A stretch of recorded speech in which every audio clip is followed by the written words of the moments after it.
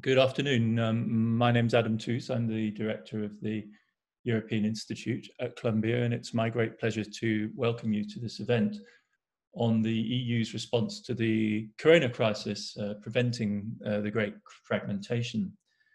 Um, I'm delighted to welcome um, our two speakers uh, this afternoon. Um, Marco Buti, who is head of cabinet of the in the for the European Commissioner for the Economy, uh, Paolo Gentiloni. Um, before joining uh, Commissioner Gentiloni's team, Marco served for more than 10 years um, as Director General for Economic and Financial Affairs at the Commission. And prior to that, he was an economic advisor uh, to the President of the European Commission, Romano Prodi. Our other speaker is Nicolas Véron. Uh, Nicolas is a senior fellow at Bruegel, uh, the Brussels think tank, which he helped to co-found uh, almost 20 years ago. He is coming to us today um, from his current post as a senior fellow at the Peterson Institute for International Economics in Washington, D.C. Nicolas works on financial systems and financial reform and also on current developments in the European Union. Thank you very much to both Nicolas and Marco for joining us today. Uh, we've had the pleasure of welcoming Marco Buti to the European Institute every year for the last five years um, usually at a time in the fall, which coincides with the annual meetings of the IMF in DC. Last year, we met, Marco and I, um, just before the new European Commission, headed by Ursula von der Leyen, took office, and we discussed the economic priorities of the new Commission. A lot obviously has changed in the time since then, um, and we're looking out on rather different questions, rather different challenges at the current moment. And it's a fantastic opportunity and a real pleasure, Marco, to have the chance to touch base with you and to discuss uh, where Europe has gone and how it has been coping with the crises um, since uh, we last met. We chose for this event a title, Preventing the Great Fragmentation, which draws from an article published by Marco Buti in Vox EU just before the EU, EU agreed on uh, the recovery plan this summer. I'll ask Marco and Nicola to tell us more about the risks of fragmentation within the EU, how these risks can be avoided, and what are the conditions for the recovery plan to succeed. After the presentations by Marco and Nicola, we'll have a first round of discussions entre nous, and then we'll invite you as members of the audience to put questions to us. Please send those questions through the chat function on the right hand side. Um, I'll be scanning that as best I can along with Sharon Kim and Francois Carrel Billard, who, as you know, are the people who really make the European Institute work and tick throughout the year. Um, you can also, if you like, avail yourselves of the uh, blue hand button, but that's really for experts. The most obvious thing to do is really put a question in the chat box, and I will then pass it on to Nicolas and Marco. So I look forward to a great discussion. We'll run until quarter past uh, quarter past one. Uh, Marco, the, the floor is yours. Thank you very much, Adam. Uh, um, many thanks for having organized this. As you said, uh, I have a tradition of coming over, um, and I, it's a tradition that I, I plan to continue uh, and in person next year, which is also uh, the, the best wish for uh, uh, for everybody. So, um, no, thank you very much again. I think it has always been a pleasure to exchange views with uh, with you. Um, um, and I'm looking forward to the discussion today and uh, also um, saying big hello to uh, Nicolas, um, who has um, uh, contributed uh, very substantially over the past years to shape our thinking on uh, a number of matters, economic and monetary union, banking union, etc. Now, for the for kicking off, I have prepared a few slides, which uh, I think Sharon would manage centrally.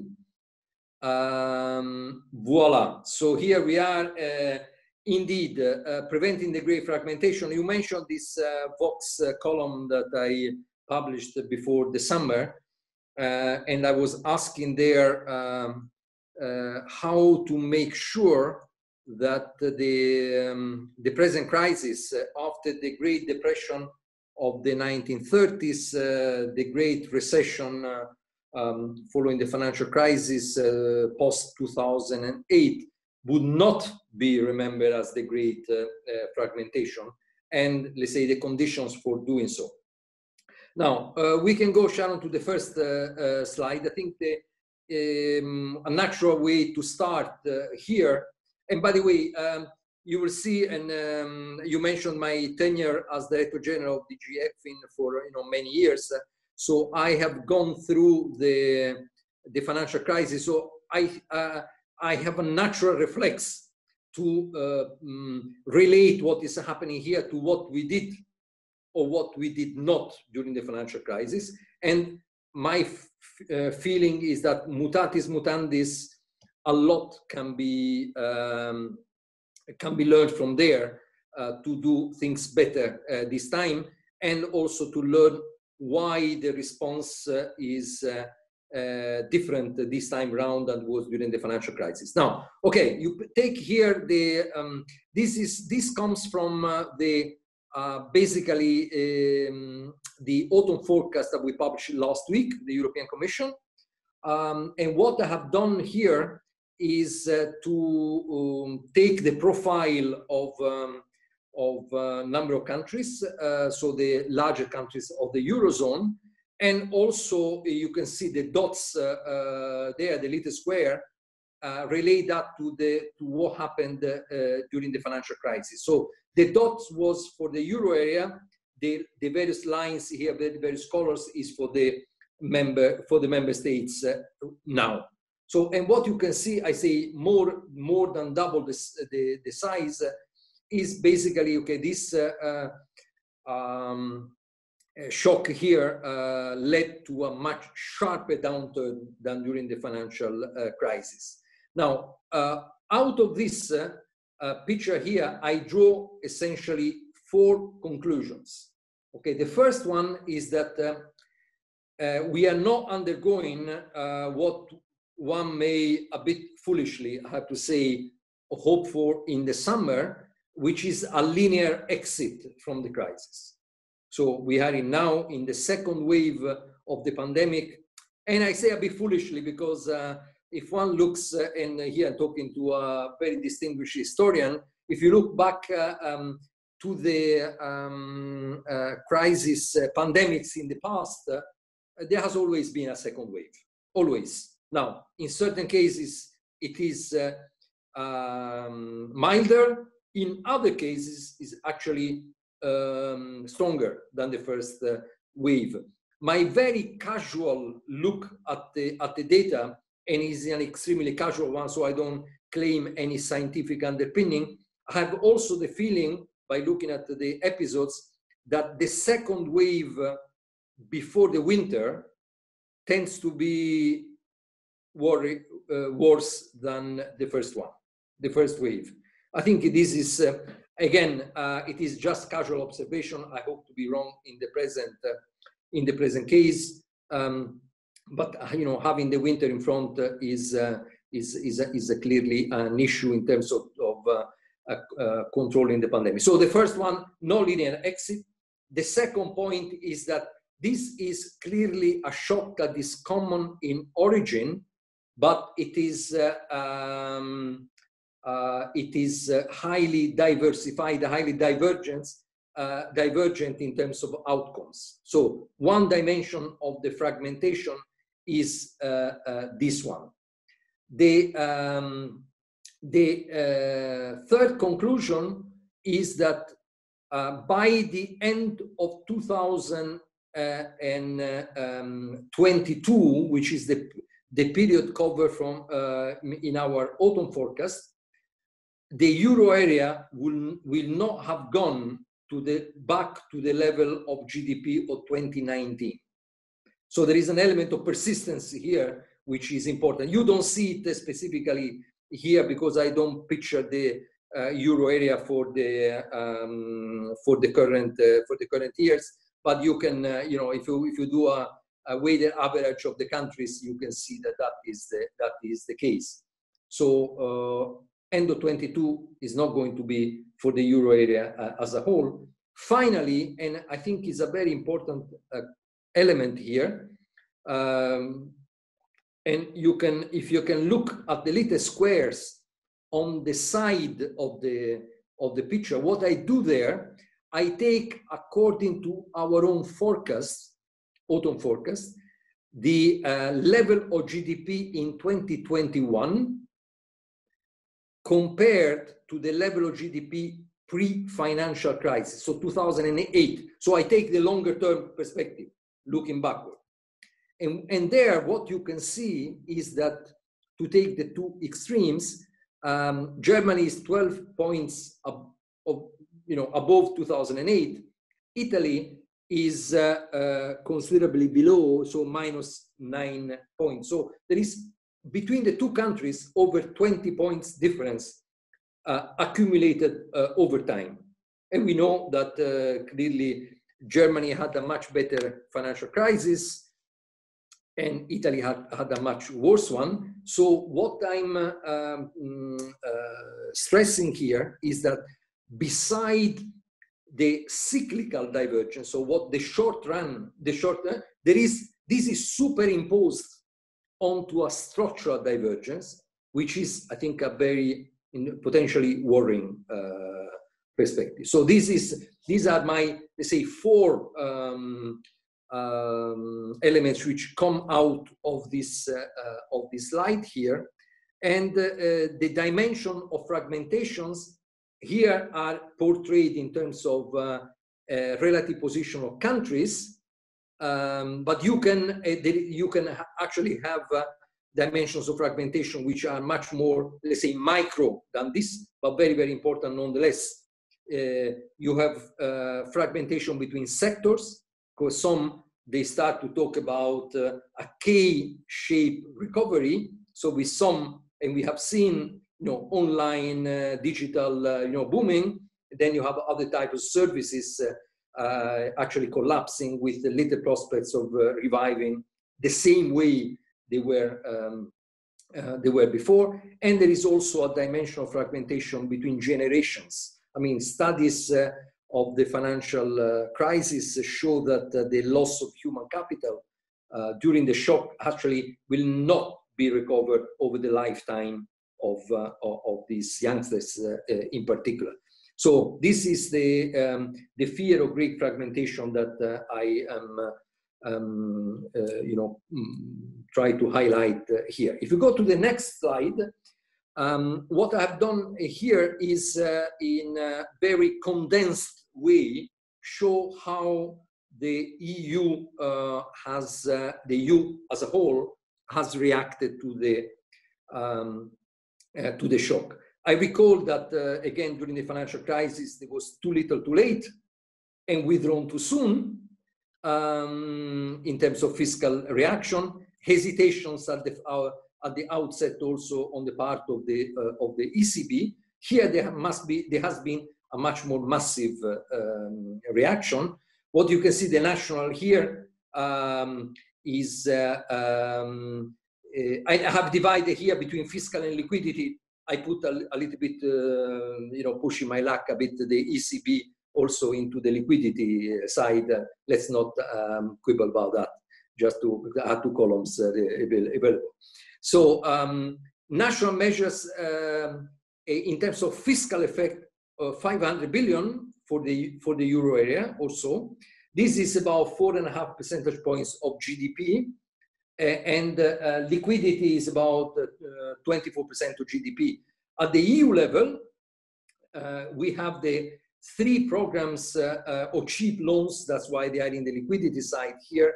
SURE, which is to help essentially short-term work schemes and su support um, uh, skills and and and, uh, and the workforce. The ESM pandemic uh, um, program, which is there um, in principle, it has not been activated yet, and the and the EIB interventions. And then we have the uh, the, you know, the most important one, which is uh, next generation EU. And within that uh, 750 billion, within that, the core of it, which is 90%, which is the recovery and resilience facility. Um, you see in terms of cheap loans 360 in terms of grants 390 i put here 390 plus because the 390 was the agreement that was achieved at the European Council back in uh, July, and the plus is uh, what is being negotiated with the with uh, the, the Parliament, which reinstated some of the cuts that the um, especially two common programs that the Council had um, you know had done. So and then we have the ECB with a PEPP uh, program, uh, 1,350 billion. So you can see that this is shapes up uh, as, a, as a very sizable response. In terms of the fiscal, by the way, um, the US and the, e, and the euro area, they have roughly the same increase in the, in the deficit, about eight percentage points uh, in 2020. Um, they start from the, uh, you know different levels, so the they, uh, in the in the US uh, they go to 15 15 plus uh, percentage points of GDP because they started from a very large deficit, but the delta is about eight points for both. Clearly, the composition is different because for uh, for the EU it is roughly half and half between um, actual measures and uh, automatic stabilizers. In the US, we know the automatic stabilizers are much uh, smaller, so it is more of um, discretionary measures. So this is, uh, uh, let's say, a quite sizable uh, response. And by the way, it is not portrayed here because of because of this an aggregate table, but you have had this in in the EU response a um, um, let's say distributional element which focuses the resources very much on the countries uh, worst hit. So that for some of, of the countries, there is a several percentage points of GDP, you know, uh, in double digit. Um, so over 10 percentage points of GDP, um, which uh, which uh, will come from uh, next generation EU. So we can go to the next uh, uh, slide. Um, so why have we reacted in a different way? And you know, hopefully um, what uh, um, what we have learned during the financial crisis helped uh, in this. At least that's my hope and the way I uh, look at the um, at the measures uh, taken. What I have done here, I've tried to condense the main lessons as far as you know, mm, as I, as I can see from the financial crisis, and attributed a very um, personal uh, uh, ranking and plus and pluses um, in terms of the relevance for the, for the current COVID crisis. I think what, um, I mean, the first, uh, the first line is a very important one. Uh, and I, um, I'm sure um, uh, Adam, uh, in my presentations in the past years, I mentioned uh, in, um, that had the financial crisis started with Ireland instead of Greece, uh, we probably would have been here telling a wholly different story. Uh, so what we have here, this is seen as an exogenous shock. Um, and the argument of moral hazard plays very little role. I mean, there was at the beginning someone who tried to say yes, but had some countries uh, created the space for responding uh, by behaving better in terms of fiscal public finances, would be they would have a stronger uh, possibility to react. But this it did not hold water that story uh, really. So the nature of the crisis played an important um, uh, an important role.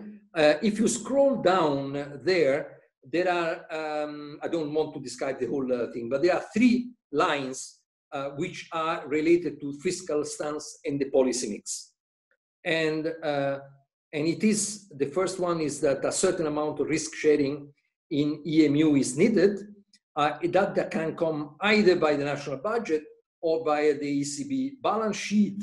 And that what uh, essentially the second way is what happened during the financial crisis. I think uh, in um, you know uh, especially after Karlsruhe, difficult to put the onus also on a, on the from a legal and political uh, standpoint all on the ECB. Second, uh, just below monetary policy cannot be the only game in town, and early withdrawal of fiscal stimulus uh, um, tends to be very costly uh, in the face of a large shock. And finally, achieving an appropriate fiscal stance, trying to do only via coordination of national policies rather uh, than on a vertical way between the center and the and, and the national is um, is uh, is very very difficult. So I think we have, if you put all these three lines together, I think uh, this underpins very much what we are trying to do uh, now. We are trying to have a more balanced policy mix. So the ECB is clearly at the forefront, but it's not the only game in town. And fiscal policy plays, uh, I think, an important role also in the articulation between uh, uh, the center and the national level. I remember, I mean, I, I wrote a paper for the, uh, you, some of you may remember the Sapir report 2003. At the time, um, it was uh, it was a paper on uh, which was dubbed, well, the title was towards a European budgetary system, which described at the time, you know, over 15 years ago, uh, precisely the articulation between the national budget and the EU budget that is coming through uh, uh, now. Uh, so this is, um, let's say, the, what we are trying to do. Um, very final uh, uh, comment on this, a bit en passant, but important also considering that this is a transatlantic seminar, is um, the geopolitical considerations. So I think there is a, there has been an increasing awareness in Europe that um, having an export-driven uh, model, relying on the others to uh, dig us up uh, from the, the hole we are, we are in is not a good idea. Not solving um, in a decisive way problems actually weakens us geopolitically. And I think this has been, um, you know, we have, we have been painfully aware of what has happened over the past years. So I think some of the elements of, of a concrete and decisive response um, would also increase the role of uh, the uh, Europe in global governance. And that was, uh, you know, before the elections. I think it's be, it will remain relevant also after the US election. So we can go to the next one. And here I have tried to um, um, you know, to let's say, let's go back to to uh, a famous quote that uh, everybody uh, dealing with European matters has heard uh, at least once, and it is Jean Monnet, one of the founding fathers of Europe, which, uh, and you see that they are in, in inverted commas, Europe will be forged in crisis, and it will be the sum of solutions adopted for those crises. This comes in the autobiography of Jean, of Jean Monnet. Now, the uh, implicit or even explicit um, uh, answer by Jean Monnet be, uh, in articulating this uh, was that um, Europe will be always the uh, answer. So more Europe will be always the answer to this crisis. Uh, it will be always the right answer, and it will be always accepted by the, by the citizens. These three assumptions are not warranted any longer.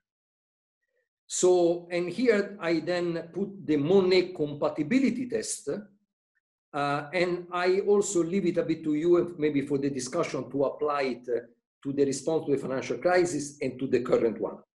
I mean, we need to have, let's say, three dimensions of coherence, which are uh, uh through which through, through through which filter the um, the, the policy response. One is economic coherence. Is it the what uh, we are doing? Is it an effective response to the crisis?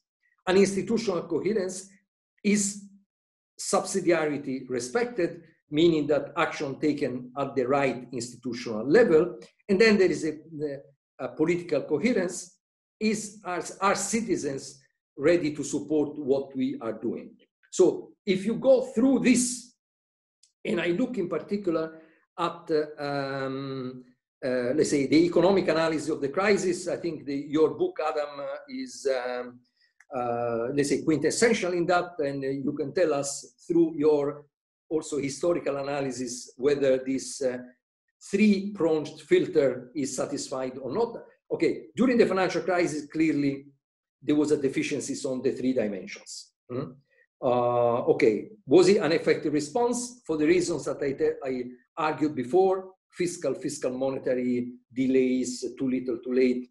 It was not an, uh, clearly the, an optimal response. On terms of institutional coherence, I think one could uh, also argue that uh, um, subsidiarity was not respected. I think there was uh, very much a put your house in order first, risk reduction first, risk sharing later, maybe, which I think was not the right response.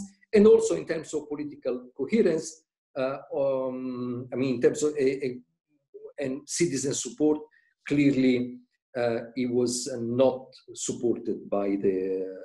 And if you look at the um, uh, latest um, uh, vintages of Eurobarometer, including the very latest ones uh, um, on the response to the crisis right now, I think there is a much more support uh, for what we are doing now. Also, and it's important to notice, also in the frugal countries. If you look at the, the ask the population uh, whether they support what we are trying to do. Also, in redistribute, redistributed terms, I think you have an overwhelming support by, by the population of what we are trying uh, to do.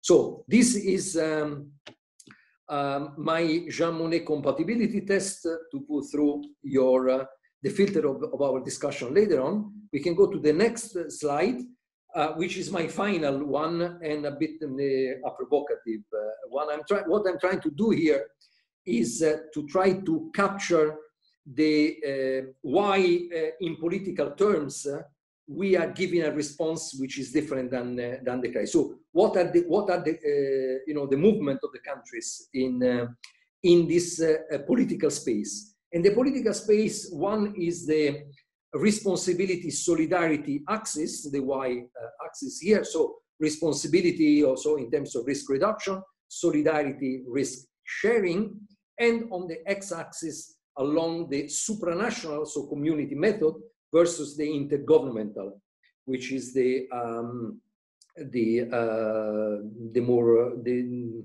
uh, let's say intergovern intergovernmental relation by uh, member states rather than you know joining up in uh, uh, according to the community method. So in essence, even though the two are blurred, um, what dominated in the financial crisis was a creditor rule, so pretty much on the responsibility axis up, and an intergovernmental um, approach. So uh, you may remember uh, Chancellor Merkel's Bruges speech um, uh, when she coined with the union method. That was a gentle way of, uh, say, intergovernmental, uh, basically. Um, so you jump from there uh, to today, I think I can see at least uh, two movements here uh, of, of the two largest uh, countries. So Germany, I think, uh, accepting to move into a more supranational community based. That's why we are trying to in, um, you know, carry out the response through the European institutions and the EU budget.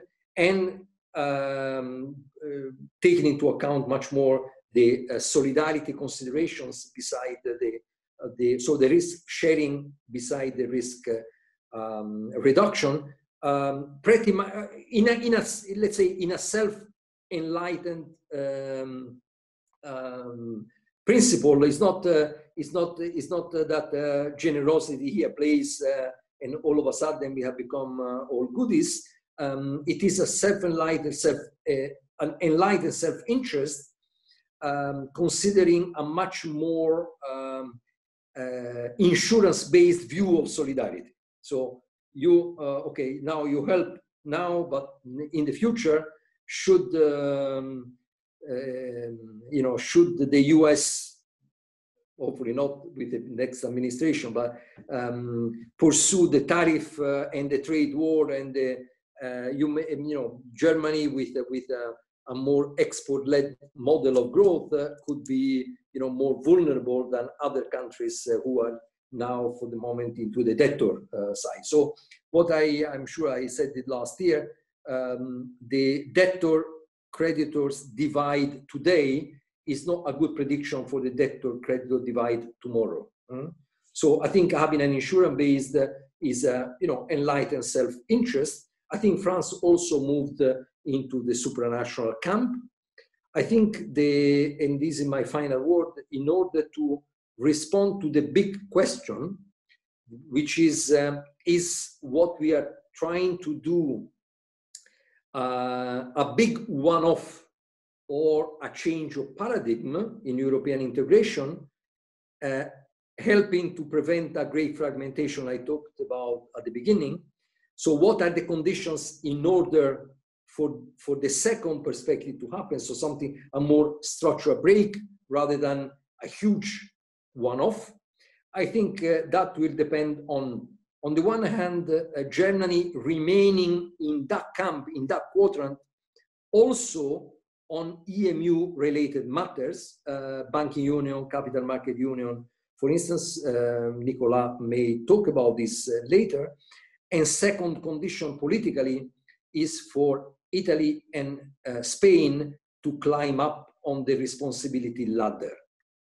Uh, so these are the are my conclusions. I don't want to talk about that uh, um, Poland, Hungary, which is occupying um, the heads of state and governments probably right now in their teleconference.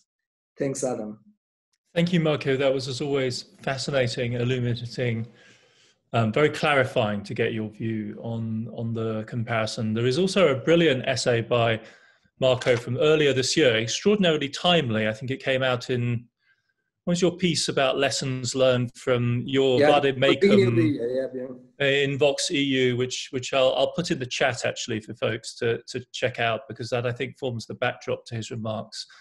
Uh, a really a, a wonderful essay which unforgettably starts with an extensive quote from Blade Runner. Um, fitting testament perhaps to the horrors that uh, Marco witnessed as DG ECFIN. Anyway, uh, Nicola, um, I look for, forward very much to your to your reactions and your comments on on the last uh, year of developments in the EU. Uh, thanks very much, uh, Adam, and uh, it's an honor and privilege to speak after Marco. As usual, this was uh, extremely thought-provoking. Uh, I loved the Monet slide particularly, and I think um, talking about fragmentation is really a way to get a sense, as this that slide of Marco's suggested uh, of how different the response to this crisis has been from the previous one. Uh, and I think fragmentation is exactly the right lens through which to look at uh, policy response effectiveness. Uh, the previous crisis was all about fragmentation in my book, more than about fiscal sustainability. And this crisis could have been about fragmentation, but the uh, imperative of uh, spread compression and fragmentation prevention has been understood from the very beginning by policymakers with, uh, from my perspective, spectacular results. So essentially, I will argue uh, briefly, uh, uh, because I want to keep time for interaction, that Next Generation EU is, to paraphrase the President-elect of the United States, a big freaking deal. it's a game changer for the European Union. And I was very struck when uh, Next Generation EU was announced on uh, July 21 uh, by the contrast between the market reaction and the reaction of the commentariat and media um, uh, articles, uh, you know, Brussels press corps basically. The Brussels press corps and commentariat were all about, you know, this is difficult, it took four days, the frugals are uh, do, doing what they're doing, and uh, there are many procedural hoops, etc. And the markets were like, okay, this changes the game entirely. And you saw the very significant reduction of spreads. And actually, if you look at Italian spreads, they're lower now uh, over German 10-year bond spreads. They're lower now, now than at any moment in the past 10 years, uh, which I think is very spectacular when you look at the growth prospects of Italy in the first slide of Marco, uh, which gives us a big bleak picture economically and by implication in terms of Italian debt sustainability, and still we have lower uh, bond spreads uh, than any time before the Eurozone crisis, uh, until, uh, since before the Eurozone crisis. So we get union bonds, and the game changer is not just really this, I mean, it's by implication the size of the program, but it's really the funding. The fact that the European Union will issue union bonds I'm not calling them euro bonds, but I think it would be apt to call them Eurobonds. Um, the current jargon says union bonds in significant quantities. The issuance by the European Union is not entirely unprecedented, but the magnitude of it is unprecedented. And this is fiscal federalism. Uh, basically now we get, uh, as part of the structure of the European financial system, a layer of union bonds that will uh, be recognized, is already recognized as safer than most national bonds. And it's not fanciful to believe that at some point uh, they will be recognized as safer than any national bonds uh, in the European Union. Of course, we can uh, discuss at length scenarios about, you know, is it a one-off? Uh, what will be the future volumes? What will be the ratings? Uh, discussions, etc. Uh, I'm basically taking it for granted that this is a real deal, but I'm sure we'll come back to this uh, in the Q&A. It's different from what many people in the current debate call safe assets, because, I mean, from my perspective, union bonds are safe assets. But many people in the current debates have uh, shifted the meaning of safe asset, and for them, safe asset means something that would be even bigger because it would be an assumption by the European level of at least part of the uh, stock of national debt. Uh, whether you call it a bailout or not is a matter of semantics, but uh, the current coded language suggests uh, safe assets being more than what union bonds are providing, if I get it right, and Marco will correct me if I, I don't. Um, safe assets understood that way are less uh, in line with the vision of fiscal federalism and uh, subsidiarity, than union bonds are. So from that perspective, with union bonds, we get to something closer to the fiscal federalism of the United States, where states issue their own debt, but are subject to a tighter discipline uh, because they don't benefit from a promise of assumption of their debt going forward um, in, uh, by the federal level. In the US, of course, the assumption of the debt was the initial um, creating event of the, of the fiscal, of the federal uh, sovereign level by Hamilton uh, in that famous deal in uh, the room where it happens. but, but then it was made clear in the 1830s that um, the federal level would not assume state level debt any further.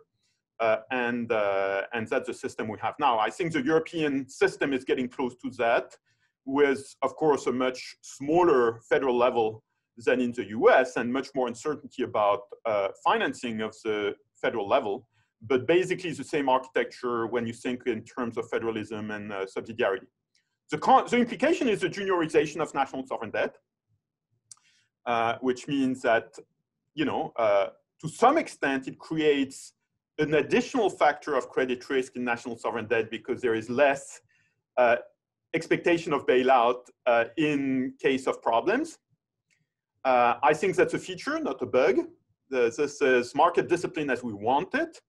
And it doesn't imply further fragmentation precisely because the impact of that juniorization is more than offset by the reduced redenomination risk, by the reduction in the uh, perceived risk of Eurozone breakup.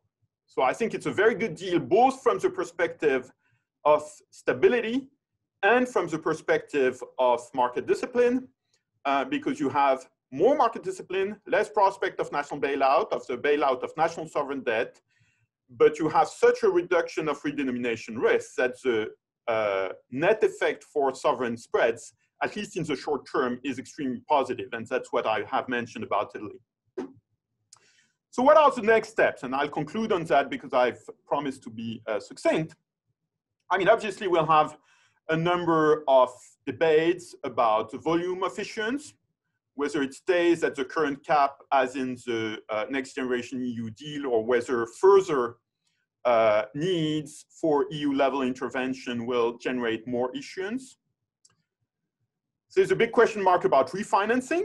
Uh, how will this debt be refinanced? At this point, of course, it's advertised as a one-off. I don't think the market takes that, that as face value. I think the market is right not to take it at face value it's pretty obvious that um, refinancing it with more union debt is probably going to be easier than either reimbursing it with EU revenues or reimbursing it with national uh, contributions.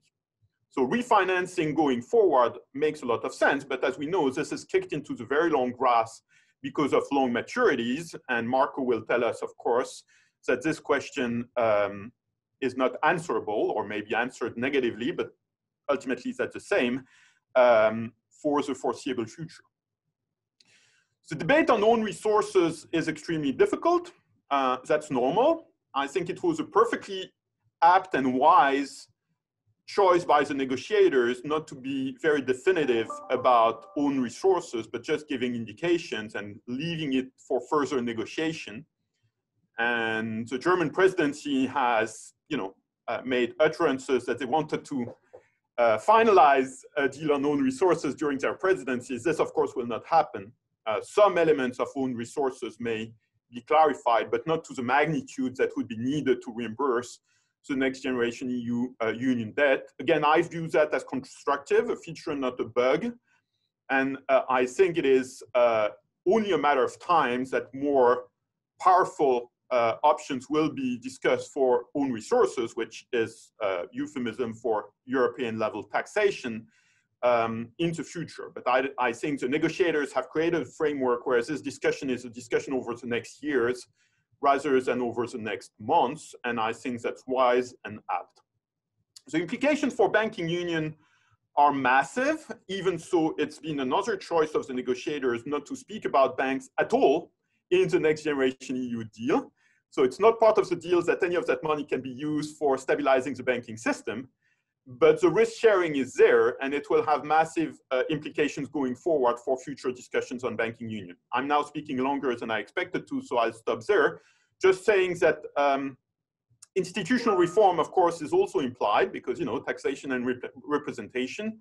Uh, but I think this, this also has time to unfold and there is no necessity of treaty change in the limited framework of time going forward, which I think is also a good thing, but I think the discussion on own resources inevitably will trigger discussions about institutional uh, setup of the European Union. And again, I view that as a good thing. So I'm, I'm full of praise for uh, the work that policymakers have done this year, both the ECB initially in terms of spread compression, and then the wisdom and vision, particularly of Angela Merkel, but the other uh, negotiators in council as well.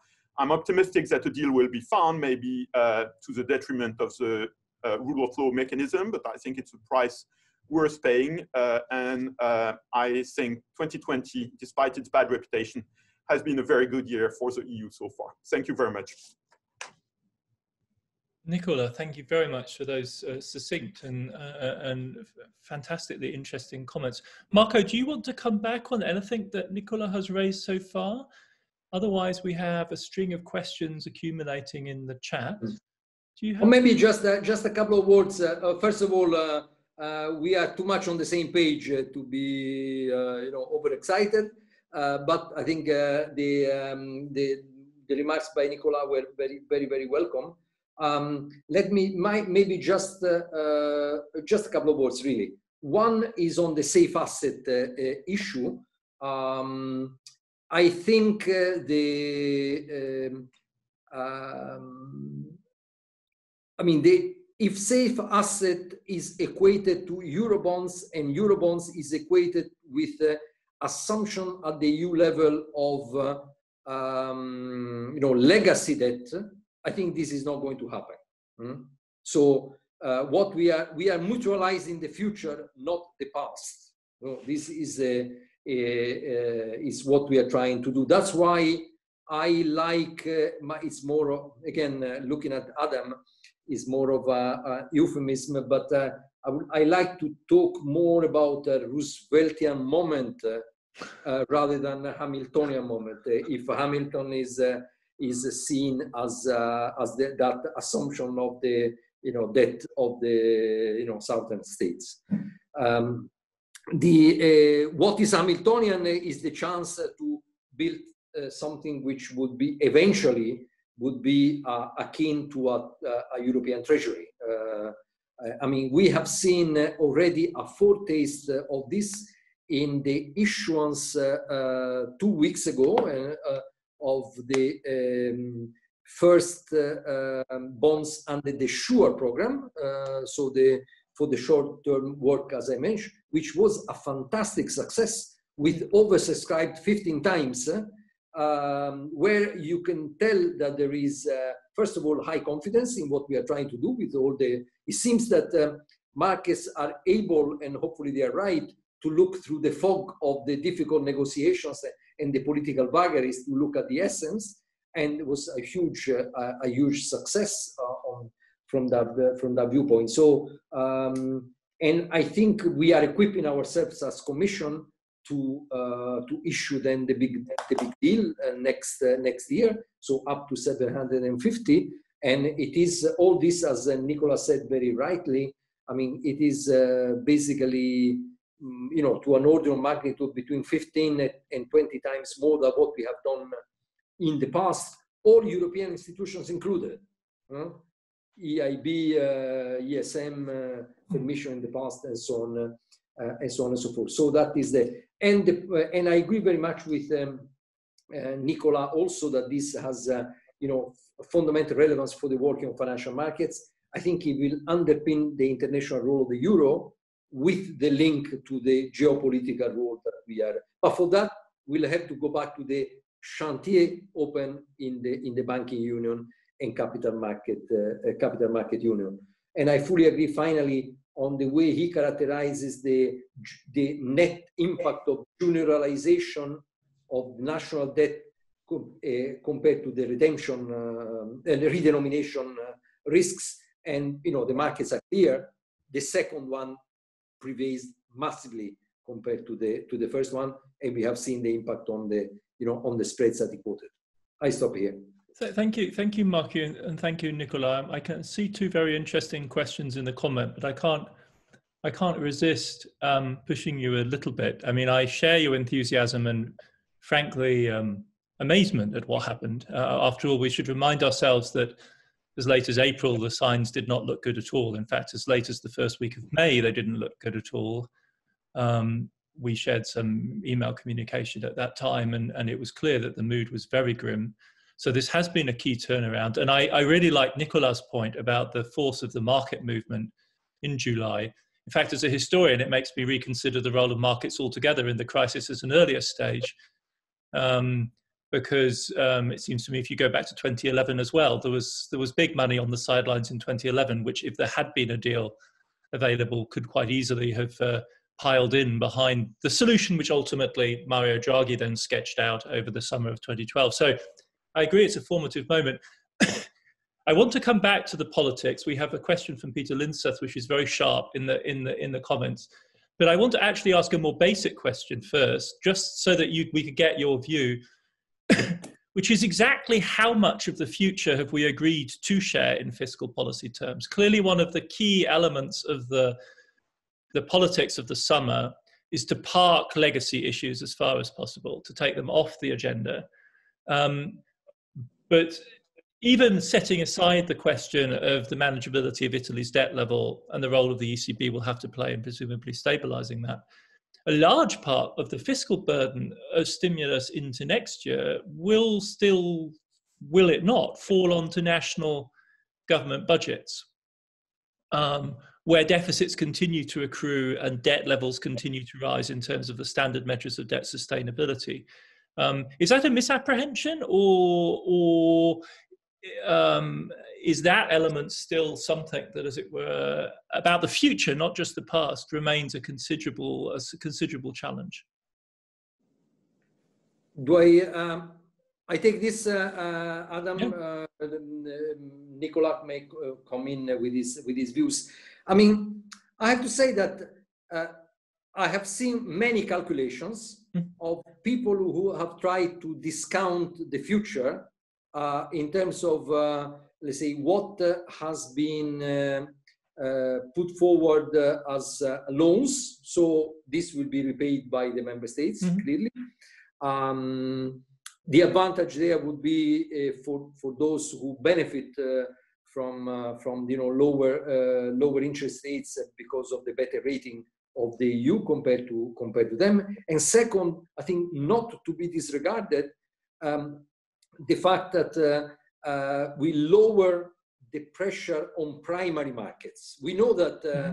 Uh, the ECB intervenes and cannot do otherwise because of treaty requirements in the secondary markets. So you may you may have situations in which coming up with national uh, uh, issuances uh, with bouts of issuances all, all at once um, may, under certain fragile conditions, be problematic from a, from a market viewpoint. So having the possibility to take out at least part of this um, uh, issuance from the primary markets, I think has mm. uh, may have a may have a positive uh, a positive impact.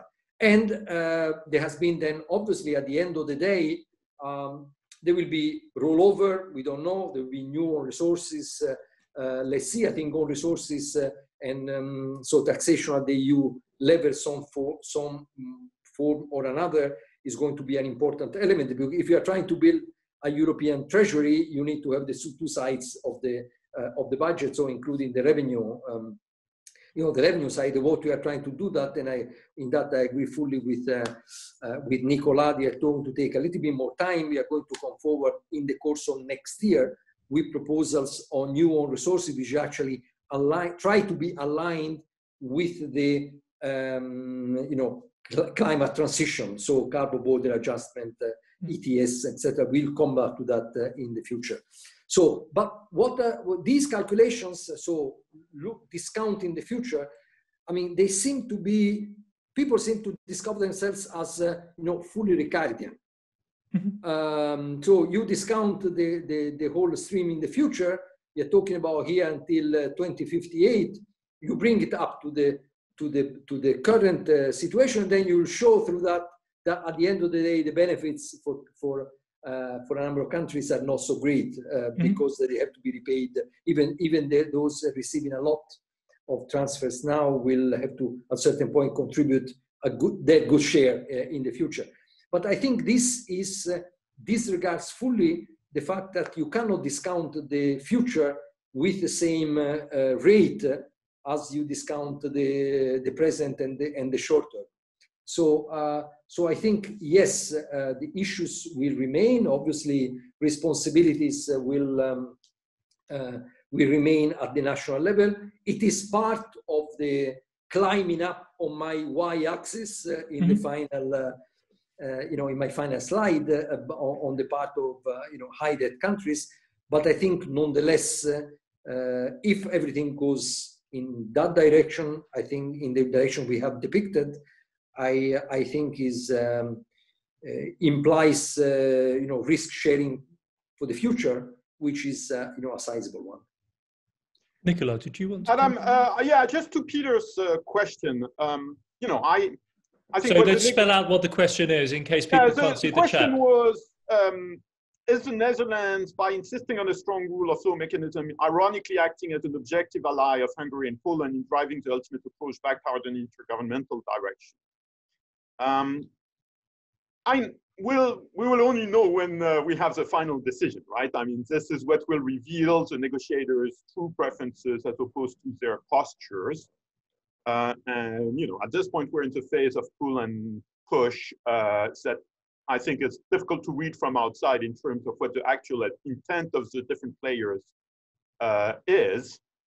And there was a tactical move, obviously, by the German presidency to call a vote on um, on, on their uh, compromise with the European Parliament. And so we could see the opposition of those who oppose. Uh, it's not the end of the process. Uh, and the good news is that there is such a win-win interest, um, if I can put it in those um, trivial terms, uh, associated with more trivial uh, pop culture these days, uh, there's such a, win-win interest in uh, finding a deal that uh, the markets certainly are very optimistic that the deal will be found. Uh, and uh, I concur. I think the, the, the question, of course, is how much will remain of the rule of law mechanism. Mm. I think it, it is ultimately, from my perspective, quite likely, and I'd like to have any comment from Marco, of course, on this, that the um, community nature of the mechanism and the fact that these are union bonds and not intergovernmental bonds uh, issued by some special purpose vehicle, a la ESM, um, that I expect to remain in the final um, deal. So what exactly the Netherlands uh, is seeking at this point, I think we'll only know when we have the uh, result of this ongoing negotiation. But, uh, but, but I don't see, I mean, if your priority is the rule of law mechanism, I see reasons to be worried. If your priority is union bonds, I don't see much reason to be worried now. Marco, maybe you want to comment. Uh, Nicola, let me be reticent on this. Uh, if, so, so, if you if you allow, I mean, I'm usually quite outspoken, but the, I think this uh, political sensitivity on this. So I am. Uh, let me be. Let me remain on a listening mode. we won't hold that against you, I think. Let me let, let let us stand back a little bit further though, and couldn't one paint a rather different picture of this year? I mean, I grant the Euro optimism and I'm revel in it. And I'm so glad that we're having this conversation and not some other conversation that looked like we might be having in May. But if you could look at it another way, like what something has happened today on both sides of the Atlantic. Effectively, we have central bankers on both sides of the Atlantic screaming for fiscal action. We have, we have uh, the Fed screaming for fiscal action. We have the ECB, Madame Lagarde, today, this afternoon, uh, AP had her saying, we need the funds released now. And of course, the funds can't be released now, and it's very unlikely they will be released immediately, but she has to say this. So what we have is the two advanced economy democratic blocs in which the central banks are carrying the burden of policy making, and they are also carrying the burden of absorbing Italy's legacy debt and stabilizing that market, which mercifully they're doing, apart from a quick blip early on they're in the game. So we're in the game. But another way of looking at this is that in the face of a manifest crisis, with the epidemic sweeping across both the United States and Europe to levels which rival those of the spring, the only difference is we're better at managing the system in hospitals. Politicians, policymakers, democratically elected officials, and neither bloc is capable of mounting a prompt, timely, and large scale fiscal deal. In the American case, what, what this amounts to is regionally based opposition between a far right nationalist party with suspect democratic and legal credentials on the one side and a notionally elected Democratic Party on the other, which has not had its victory recognized yet and is battling for control of the upper house, as we all know. And in the other case, we have a very elaborate statesman-like deal that was done in July that does indeed move Europe forward, except with the hitch that a country of the size of Poland and a regime as nasty as that as Hungary are part of integral members of this system, and they have guaranteed rights within this structure to block any further progress. And they are, for their own reasons, doing precisely that. And so, as opposed to a deal that we thought was done and dusted in July and to which the markets have extended the credit which it deserves, we might be in a process that will go to December. And in the meantime, the reality of this is the money is not arriving. Yeah, I don't think any of us thought the deal was done and dusted in July. I mean, the procedural okay. steps were clear from the beginning. It was clear that the rule of law compromise uh, would lead to further uh, difficulties down the road because it was kind of papered over yeah. but uh, pretty ambiguous. Uh, it was clear that it would take several months to get it formalized, and that's exactly what's happening. Uh, so from a market perspective, I think the big question is, will they have a deal in the end? The expectation remains that, you know, a few months more delay doesn't change much. And uh, the good news is that the market is working. It's playing its role. It's providing bridge finance and you have that in the compressed spreads. So, so far so good, I would say, and so far from my perspective, and frankly from the market perspective, no reason to worry. Actually, Italian spreads, despite the second wave, despite the deterioration in economic prospects, Italian spreads have gone down, not up, yep. since the beginning of that sequence. And frankly, I don't see a reason to believe the market is wrong on that. And Greece is negative. But nevertheless, you could end up surely with a vision of this process in which, as you yourself say, Nicola, rule of law is probably in the end watered down to the point of meaninglessness. And the central pillar holding this whole thing up is the ECB, which, as we know, has legitimacy issues of its own. Of well, its I, own. I, I, mean, I. I'm playing devil's advocate. Yeah, here, yeah, no, I, and and that's very healthy. But uh, but I see the two issues as different. Uh, so uh, if you assume the rule of law mechanism to be weak, the central pillar remains next generation EU. Yes, exactly. So then we, and, we, and we have a trade-off, if you like. We have a trade-off. I, I think that's what the that, markets care about, frankly. Yeah. They want to see union bonds. Yeah. They believe in union bonds. Um, they're expecting union bonds. Yeah. Um, they don't care much about rule of law. You can say yeah. that's short-sighted. I agree, but you know we have a unanimity rule, and that's no surprise. Yeah. Uh, and um, and you know uh, the issue, and and frankly, I mean, there's still a contested election system in Poland and even arguably in Hungary, even so it's less clear for Hungary. Mm -hmm. So you know who knows what's the next step. Okay, maybe let, let me come in for a moment in this. Uh, okay, one consideration is that, um, um, okay, let, I mean, what is happening is rather serious, you know. So I don't think we sh it should be brushed aside as uh, uh, um, is serious, know, right? just, just, a little. Uh, so it is. It is a serious. It's not a spat, right? No. And and it is so. Uh, I am. Uh, I remain uh, optimistic about the final outcome. I do not know exactly what the outcome will be. There also in discussion in uh, in the media you have different options uh, uh, the one um, that Nicolas is stressing is one of the options others other options are being are being discussed also I mean, I think uh, they eventually we will find uh, a solution because um, because there is uh, you know Hungary and Poland that they have a huge a lot to lose in, uh, huge percentages of GDP. Yeah. We are talking about uh, in terms of percentage points of GDP is uh, uh, the transfer in next generation EU is uh, uh, over the year so is is over 10 percentage points of GDP for both. Yeah. So so here we are talking about is not blocking out of losing nothing.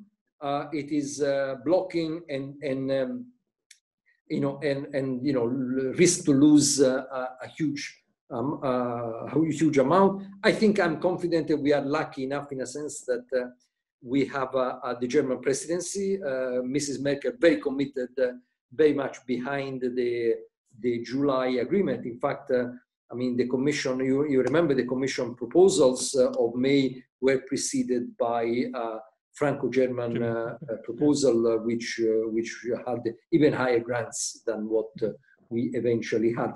No, but let me go back for a moment to what you started with, um, Adam, and it is the considerations on the monetary fiscal. Yep. So the fact that you have um, the two monetary authorities across the Atlantic calling for fiscal action.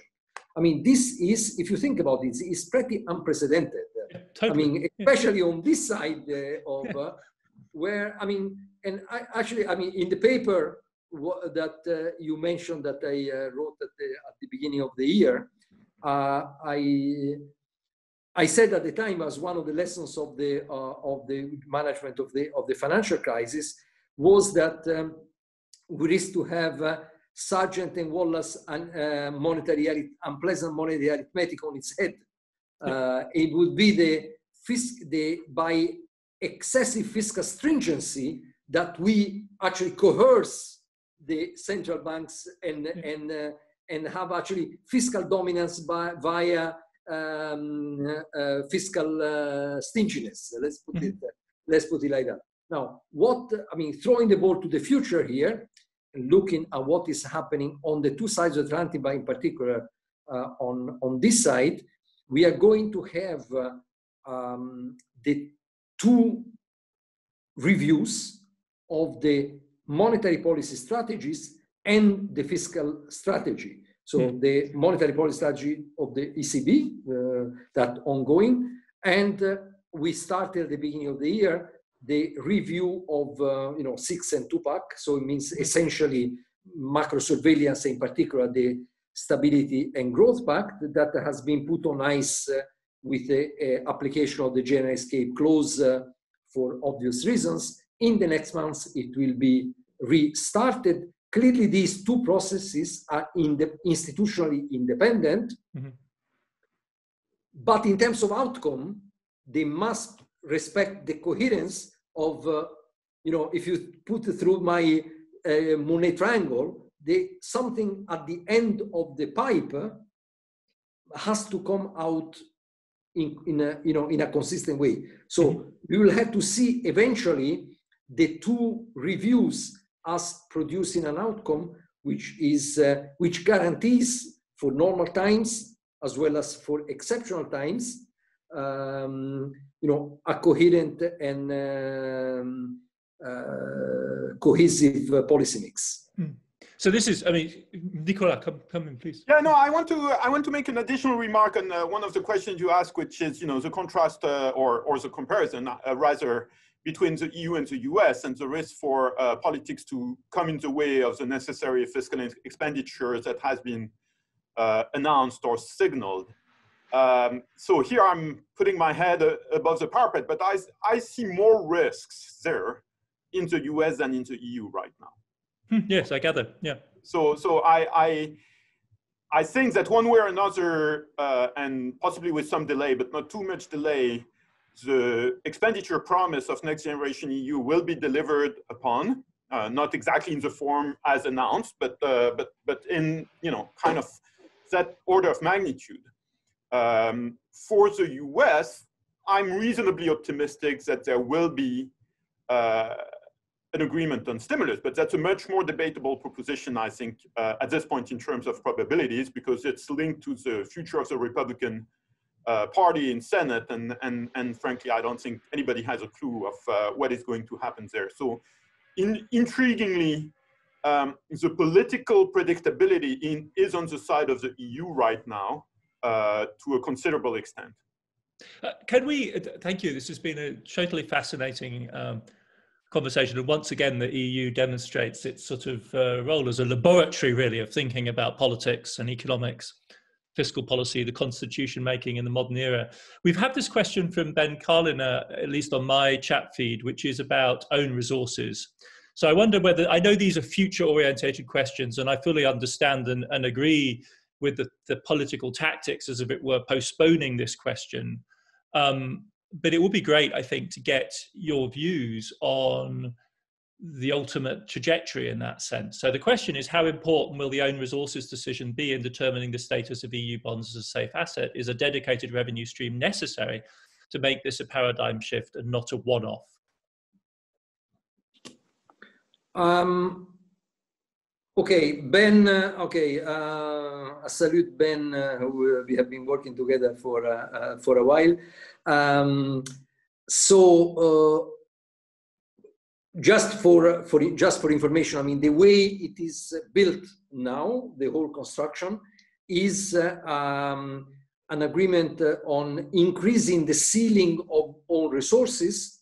So basically, uh, the callable contribution of mm-hmm. the uh, of the member states and the space between uh, the spending and those callable uh, ceiling uh, is actually the, um, the, provides the guarantee for the for the yeah. issue of the bonds. So this for information the way it stands now. That's why it is very important uh, uh to uh, conclude the negotiations uh, as quickly as possible because the we have to go through most in most countries through national parliament ratifications of the new own resources decision. Hmm. So we are not there yet. That's why uh, Commissioner Gentiloni this morning in, a, in an interview, um, he was confident that we'll find an agreement, but he was uh, starting to become uh, nervous about the, the possible delays on, uh, on hmm. this. Let me add, uh,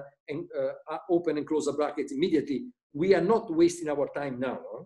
because what we are doing with the member states is that we are discussing informally with them the preparation of national recovery and resilience programs. Right. so that uh, this is uh, a part of the of the uh, regulation of the of the RRF so they have the possibility member states to present uh, programs uh, in draft form. They discuss with us so that once they will uh, submit in at the beginning of next year the, the final uh, version of the program, it will have been already, let's say, digested so that to ease the the adoption by the council in a speedy manner. So we are using, in the sense, on the sideline, the um, the uh, the time now for that.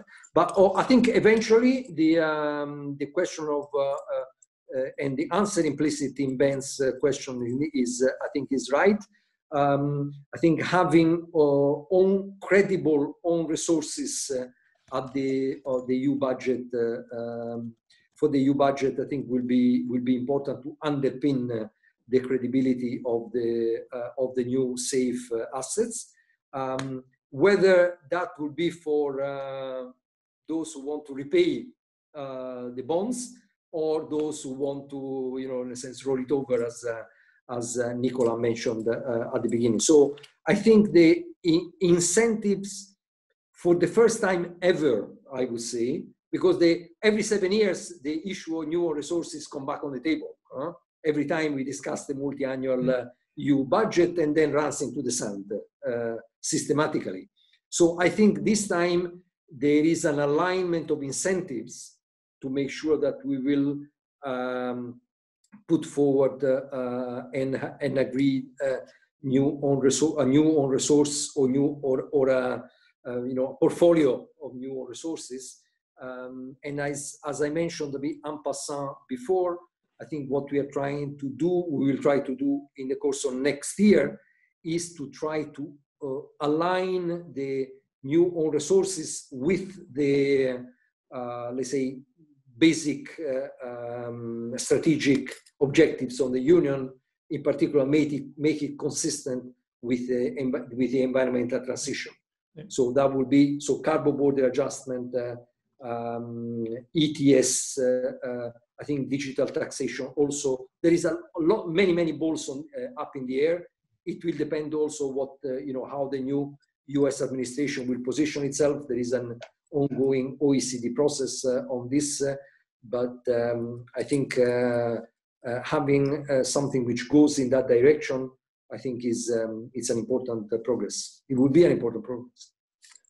Thank you, Marco. Um, thank you to both of you for being so generous with your time, so generous with your ideas, for coming back to talk to us as, as Marco has done uh, really for a, a long sequence of, of, discussions now and for bringing us good news this time. Uh, uh, it makes a change from some of our previous moments of, of conversation uh, to be talking in the terms that we are, um, whatever qualifications they may be. And it, it remains um, not just, I think, politically engaging, but also profoundly fascinating from an intellectual point of view to watch the making of history in this sort of uh, unfold before us. Thank you so much for coming. As we all know now, the worst bit about Zoom calls is the fact that you just have to sign off, wave goodbye to people. Uh, but please join me in, uh, in applauding our in applauding our, our, two speakers. It's been a real pleasure talking to you, and I look forward to doing it uh, better in future in uh, in person. Thank Cheers. you, Adam. Thank you, Nicolas. Was uh, stay well. Stay well. Happy to continue the tradition. Yes. Stay well, everyone. Thanks and bye bye. Bye bye. Bye.